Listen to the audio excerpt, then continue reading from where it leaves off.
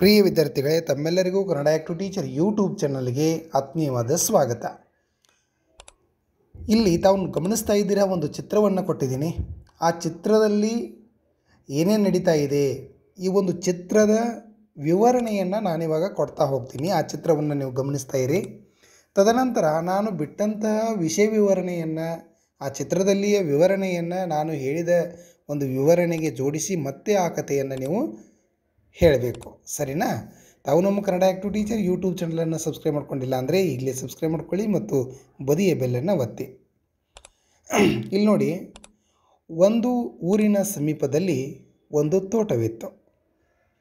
ಗಮನಿಸ್ತಾ ಇದ್ದೀರಾ ಚಿತ್ರವನ್ನು ನೀವು ಇವಾಗ? ಓಕೆ.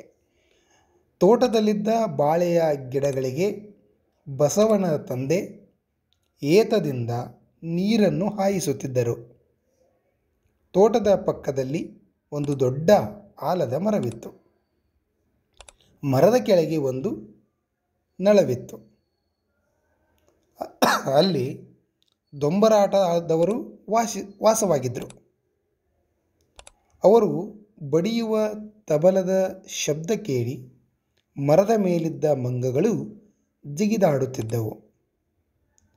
ಇದು ಈ ಒಂದು ಚಿತ್ರದ ವಿವರಣೆಯನ್ನು ನಾನು ನಿಮಗೆ ಕೊಟ್ಟಿದ್ದೇನೆ. ಓಕೆನಾ? ಇನ್ನು ನಾನು ಬಿಟ್ಟಂತಹ ಒಂದು ವಿವರಣೆಯನ್ನು ಇದರಲ್ಲಿ ಸೇರಿಸಿ ಮತ್ತೆ ನೀವು ಆ ಕಥೆಯನ್ನು ಹೇಳಬೇಕು. ಸರಿನಾ? ಹೀಗೆ ಮಾಡೋದ್ರಿಂದ ಏನಾಗುತ್ತೆ ಅಂದರೆ ನಮ್ಮಲ್ಲಿ ಪದಗಳ ಸಂಗ್ರಹಣೆ ಹೆಚ್ಚಾಗತ್ತೆ. ವಾಕ್ ನಮಗೆ ಮಾತನಾಡಲಿಕ್ಕೆ ಸರಾಗವಾಗಿ ನಮ್ಮ ಬಾಯಿಯಲ್ಲಿ ಶಬ್ದಗಳು ಬರುತ್ತೆ, ಅಂದರೆ ಪದಗಳು ಬರುತ್ತೆ. ನಮ್ಮ ವಾಕ್ ಸುಧಾರಣೆ ಆಗುತ್ತೆ. ವಾಕ್ ಸ್ವಾತಂತ್ರ್ಯ ಅಂತೀವಲ್ಲ, ಅದು ಸುಧಾರಣೆ ಆಗುತ್ತೆ. ಈ ರೀತಿ ಮಾಡೋದರಿಂದ ನಮಗೆ ಭಾಷಾ ಕೌಶಲ್ಯಗಳು ಅಭಿವೃದ್ಧಿ ಆಗುತ್ತೆ. ಸರಿನಾ?